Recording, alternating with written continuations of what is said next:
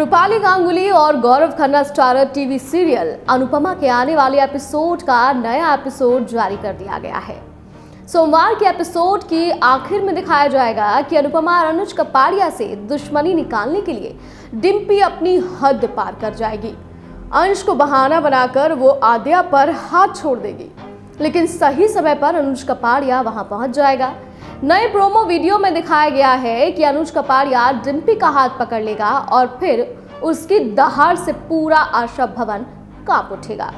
अनुज कपाड़िया डिम्पी से पूछेगा कि मैंने और अनुपमा ने आज तक आद्या पर हाथ नहीं उठाया, फिर तुम्हारी हिम्मत कैसे हुई हमारी बेटी पर हाथ छोड़ने की? डिम्पी के होश उड़ जाएँगे। लेकिन क्या वो यहाँ पर कोई नया पैतरा खेलकर खुद को बचाने और आद्या को बुरा बनाने की कोशिश करेगी? ये देखना दिलचस्प होगा।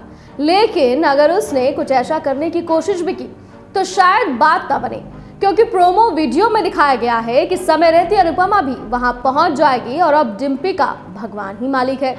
प्रोमो में दिखाया गया है कि डिम्पी वहाँ से चली जाएगी और आद्या आकर अपने माता पिता के सीने से लग जाएगी।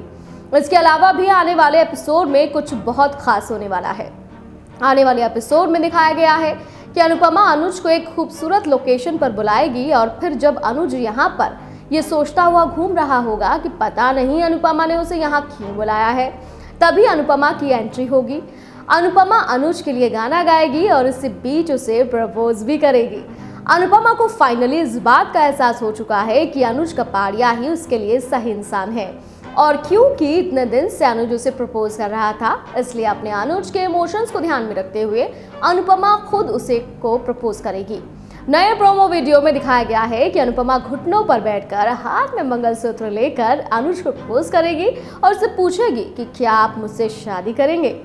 अनुपमा को यूँ प्रपोज करता देखकर अनुज अपने आँसू नहीं रोक पाएगा। आने वाले एपिसोड फैंस के लिए बहुत स्पेशल होने वाले हैं। सीरियल्स के अपडेट पाते रहने के लिए बने रहिए न्यूज़ वर्ल्ड इंडिया के साथ।